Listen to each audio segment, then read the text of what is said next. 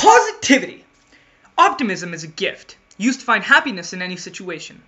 Through it, our minds shift. There's no end nor limitation. You live each day without caring for what people say. You see evil as a challenge and keep a smile on your face. That's what they say. But what they say is a lie.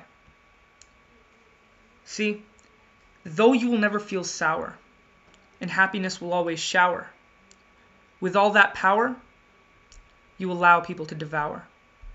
They will use your innocence and mistreat you. They will use your view on the world and mislead you. You won't see anything wrong, so they'll continue to deceive you. And with positivity, it's something you can't see through.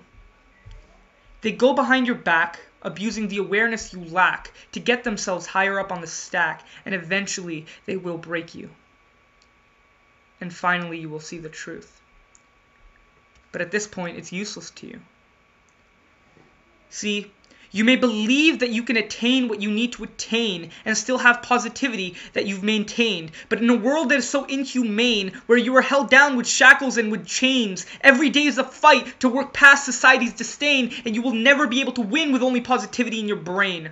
The misconception is that we have a lot to gain from always seeing the things the way we want to. But though for a short period of time we don't feel emotional pain, when we wake up from this ignorance, it puts a huge toll on our brain, so much that we nearly become insane to think that all of these years we've worked and we've trained to only see the good side and never the stains, all of it was a waste.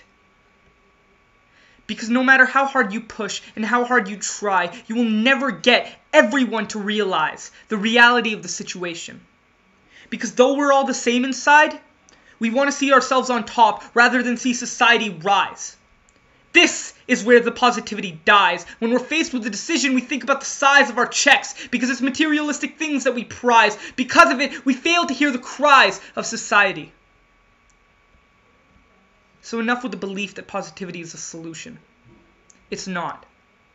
It's from negativity where we learn to be strong, because we get the chance to adapt to the problems rather than thinking nothing is wrong. We see the issue and we get a chance to solve it. But please don't misinterpret. I'm not saying the entire world is a threat. Be positive and happy every chance that you get. Just don't let it pull the sheet over your head.